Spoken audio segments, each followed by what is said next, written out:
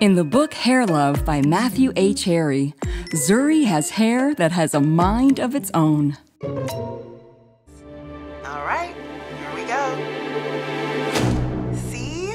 Now, wasn't that easy?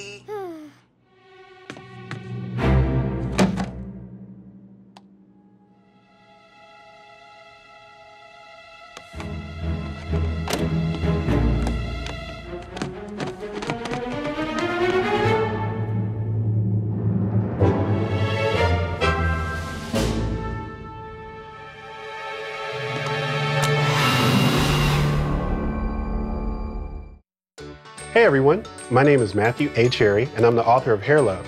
Hair Love tells a story about an African American father trying to figure out how to do his daughter's hair for the very first time. Zuri, who's our young lead character, she's about five years old. She has this really big, beautiful hair, and she knows how to do everything but her hair. You know, she's too small to do it herself because it's so tall, and so she has to enlist the help of her father, Stephen, who is a little overworked, a little tired, like a lot of the parents are out there, but he steps up and he figures out how to do it right.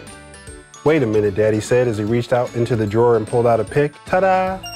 Daddy, really? I said. I'll be right back, he promised. Now, how's that? he asked, pulling a hat down over my eyes. Daddy, come on, we could do better than that. I really need my hair to be special.